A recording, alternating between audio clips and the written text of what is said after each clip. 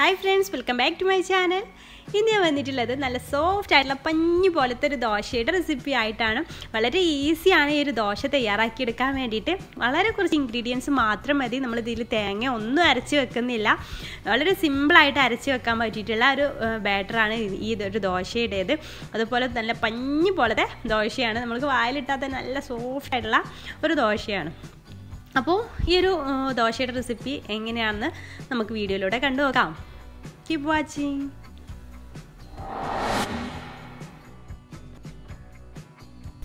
ഇത് ഉണ്ടാക്കിയെടുക്കാൻ വേണ്ടിയിട്ട് ഞാനിവിടെ ഒരു കപ്പ് പച്ചരിയാണ് എടുത്തിട്ടുള്ളത്. അതൊരു ബൗളിലേക്ക് ഇട്ട് കൊടുക്കുക. അപ്പോൾ ആ ഒരു കപ്പ് പച്ചരിയിലേക്ക് കാൽ കപ്പ് ഉഴുന്ന് കൂടെ ചേർത്ത് കൊടുക്കാം അപ്പോൾ ഇത് രണ്ട് സെപ്പറേറ്റ് ആയിട്ടൊന്നുമല്ല ഞാൻ കുതിർക്കാനായിട്ട് വെക്കുന്നത്. രണ്ട് ഒരുമിച്ചാണ് കുതിർക്കാൻ വെക്കുന്നത്. അപ്പോൾ അത് രണ്ടും കൂടെ ഒരു ബൗളിലേക്ക് ഇട്ട് നന്നായിട്ട് കഴുകിയ ശേഷം ഒരു അഞ്ച് മണിക്കൂർ നമുക്ക് വെള്ളത്തിട്ട് കുതിർത്തെടുക്കണം.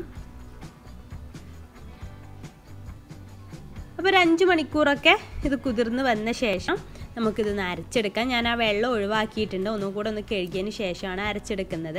അപ്പോൾ അത് മിക്സിയുടെ ജാറിലേക്ക് രണ്ട് ബാച്ചായിട്ടൊന്ന് അരച്ചെടുക്കാം. ഞാൻ അത് പകുതി മിക്സിയുടെ ജാറിലേക്ക് ഇട്ട് കൊടുക്കുന്നുണ്ട്. പിന്നെ ഇതിലേക്ക് ആവശ്യമായിട്ട് വരുന്നത് അര ടീസ്പൂൺ ഈസ്റ്റ് ആണ്. പിന്നെ ഒരു ഒരു ടീസ്പൂൺ പഞ്ചസാര കൂടെ ചേർത്ത് കൊടുക്കാം. എന്നിട്ടൊരു കാൽ കപ്പ് വെള്ളം കൂടെ ചേർത്തിട്ട് ഇത് നന്നായിട്ട് അരച്ചെടുക്കണം. ടോട്ടൽ എത്ര വെള്ളമാണ് വേണ്ടത് എന്ന് ഞാൻ പറഞ്ഞു തരാട്ടെ ഇപ്പം ഞാൻ കാൽ കപ്പ് വെള്ളം ചേർത്ത് കൊടുത്തിട്ടുള്ളൂ. ഇത് നല്ല പേസ്റ്റ് രൂപത്തിലൊന്ന് അരച്ചെടുത്തിട്ട് വരാം. അപ്പോൾ ഇത് നല്ല പേസ്റ്റ് രൂപത്തിൽ ഞാൻ അരച്ചെടുത്തിട്ടുണ്ട്. ഇനി നമുക്കിത് മാറ്റി വെക്കാം. ഇനി രണ്ടാമത്തെ ബാച്ചും ഈ മിക്സിയുടെ ജാറിലേക്ക് ഇട്ട് കൊടുക്കാം.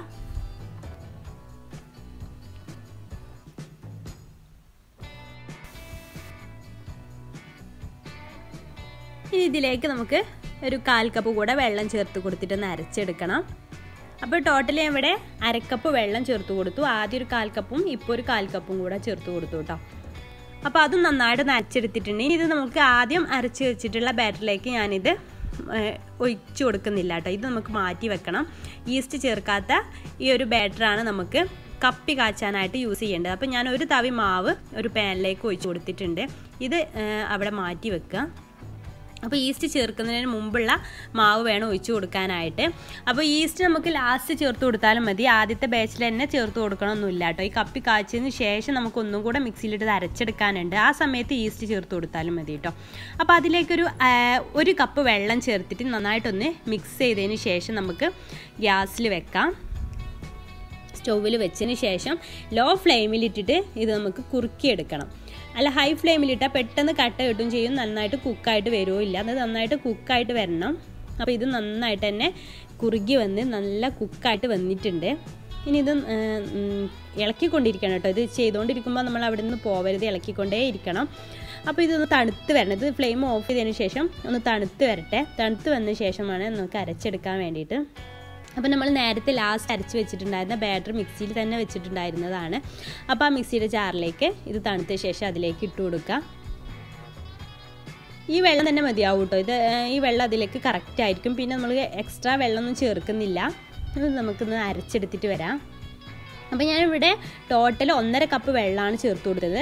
കപ്പി കാച്ചിലേക്ക് ഒരു കപ്പ് വെള്ളവും പിന്നെ ഇതിലേക്ക് നമ്മുടെ അരി ആദ്യം അരച്ചെടുക്കുന്നതിലേക്ക് അരക്കപ്പ് വെള്ളവും ടോട്ടൽ ഒന്നര കപ്പ് വെള്ളമാണ് ചേർത്ത് കൊടുത്തത്. അപ്പോൾ എന്നിട്ട് ഈ മാവ് രണ്ടും കൂടെ ആ ബൗളിലേക്ക് മിക്സ് ചെയ്ത് കൊടുക്കുക പിന്നെ ഇതിലേക്ക് ആവശ്യമായിട്ടുള്ള ഉപ്പ് കൂടെ ചേർത്ത് കൊടുക്കണം കേട്ടോ. ഉപ്പ് കൂടെ ചേർത്തിട്ട് നന്നായിട്ട് തന്നെ മിക്സ് ചെയ്ത് കൊടുക്കുക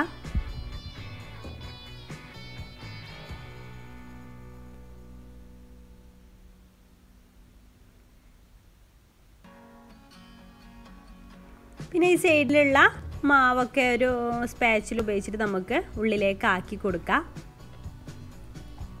അപ്പോൾ ഇത്രയേ ഉള്ളൂ ഇതിന്റെ ബാറ്ററിന് ആവശ്യമായിട്ട് വരുന്നത്. ആകെ കുറച്ച് ഇൻഗ്രീഡിയൻസ് മാത്രം മതി. തേങ്ങയൊന്നും ചേർക്കുന്നില്ല. എന്നിട്ട് ഇതൊരു ആറ് മണിക്കൂർ റെസ്റ്റ് ചെയ്യാനായിട്ട് വെക്കണം കേട്ടോ. അപ്പോൾ എന്റേത് ഇവിടെ ഓവർനൈറ്റ് മുഴുവനായിട്ട് റെസ്റ്റ് ചെയ്യാനായിട്ട് വെച്ചിരുന്നു. ആറ് മണിക്കൂറൊക്കെ വെച്ചാൽ തന്നെ നല്ലോണം പൊങ്ങി വരും. അപ്പോൾ ഇത് എന്റെ നന്നായിട്ട് പൊങ്ങി വന്ന് താഴേക്ക് ഒലിച്ചിറങ്ങിയിരുന്നു. അപ്പോൾ അത്രയും കൂടുതൽ ടൈമൊന്നും വെക്കേണ്ട ആവശ്യമില്ല. ആറ് മണിക്കൂർ മാത്രം മതി. പിന്നെ ആ ബാറ്റർ നന്നായിട്ട് ഇളക്കി കൊടുക്കരുത്. ജസ്റ്റ് ഒന്ന് ഇളക്കി കൊടുത്താൽ മതി. അതിന്റെ ആ പതയൊക്കെ പോവരുത്. ആ പതയോട് കൂടെ വേണം നമുക്ക് ചുട്ടെടുക്കാനായിട്ട്. നമ്മൾ ഓവറായിട്ട് മിക്സ് ചെയ്താൽ നമുക്ക് പഞ്ഞി പോലത്തെ ദോശ കിട്ടില്ല. അപ്പോൾ അങ്ങനെ കിട്ടണമെന്നുണ്ടെങ്കിൽ ജസ്റ്റ് ഒന്ന് മിക്സ് ചെയ്താൽ മാത്രം മതി.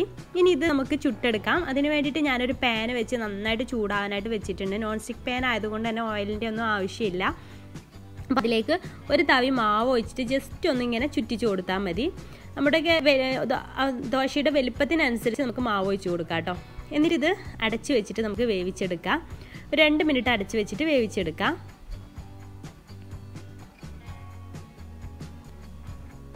അപ്പോൾ തുറന്ന് നോക്കുക. അപ്പോൾ വെന്തതിന് ശേഷം ഒരു രണ്ട് മൂന്ന് സെക്കൻഡ് കഴിഞ്ഞതിന് ശേഷം വേണം എടുക്കാനായിട്ട്. അല്ലെങ്കിൽ മേലെ ഇങ്ങനെ തൊട്ട് പോകുമ്പോൾ ഒരു ഒട്ടൽ വരും. അപ്പോൾ അതുകൊണ്ടാണ് രണ്ട് മൂന്ന് സെക്കൻഡ് കഴിഞ്ഞതിന് ശേഷം പാനിൽ നിന്ന് എടുക്കുക. നിങ്ങൾക്ക് കാണാൻ പറ്റുന്നുണ്ടാവും നല്ല സോഫ്റ്റ് ആയിട്ടുള്ള പഞ്ഞി പോലത്തെ ദോശ റെഡി ആയിട്ടുണ്ട്. അപ്പോൾ ഇതുപോലെ എല്ലാം ഒന്ന് ചുട്ടെടുക്കുക. പാൻ നന്നായിട്ട് ചൂടാവണം കേട്ടോ. എന്നിട്ട് വേണം എല്ലാം ചുട്ടെടുക്കാനായിട്ട്. ഇതുപോലെ നമുക്ക് എല്ലാം ഒന്ന് ചുട്ടെടുക്കാം.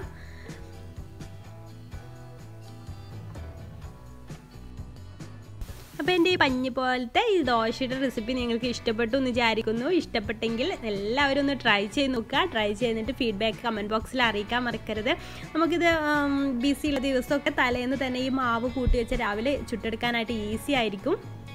എല്ലാവരും ട്രൈ ചെയ്ത് നോക്കുമല്ലോ അപ്പോൾ ഇഷ്ടപ്പെട്ടാൽ ലൈക്ക് ചെയ്യുക ഇഷ്ടപ്പെട്ടാൽ നിങ്ങൾക്ക് ഫാമിലിക്കും ഫ്രണ്ട്സിനൊക്കെ ഷെയർ ചെയ്യാം കേട്ടോ പിന്നെ എന്റെ ചാനൽ സബ്സ്ക്രൈബ് ചെയ്യാതെ നിങ്ങൾ കാണുന്നതെങ്കിലും സബ്സ്ക്രൈബ് കൂടെ ചെയ്തിട്ട് സപ്പോർട്ട് ചെയ്യുക നിങ്ങളുടെ സപ്പോർട്ട് ഉണ്ടെങ്കിൽ മാത്രമേ എനിക്ക് മുന്നോട്ട് പോകാൻ പറ്റുള്ളൂ. അപ്പോൾ സപ്പോർട്ട് ചെയ്യാൻ വേണ്ടിയിട്ട് സബ്സ്ക്രൈബ് ചെയ്യുമ്പോൾ അതിന് തൊട്ടടുത്ത് വരുന്ന ബെല്ലൈക്കൺ ഉണ്ട്. അതിൽ ഓൾ എന്നൊരു ഓപ്ഷൻ ഉണ്ട്. അത് പ്രത്യേക എനാബിൾ ചെയ്യാനായിട്ട് ശ്രദ്ധിക്കുക കേട്ടോ എങ്കിൽ മാത്രമേ ഞാൻ ഫ്യൂച്ചറിൽ ഇടുന്ന വീഡിയോസിന്റെയൊക്കെ നോട്ടിഫിക്കേഷൻ നിങ്ങൾക്ക് ലഭിക്കത്തുള്ളൂ. അപ്പോൾ നമുക്ക് പുതിയ റെസിപ്പിയായിട്ട് വീണ്ടും കാണാം. അതുവരേക്കും ബായ് താങ്ക്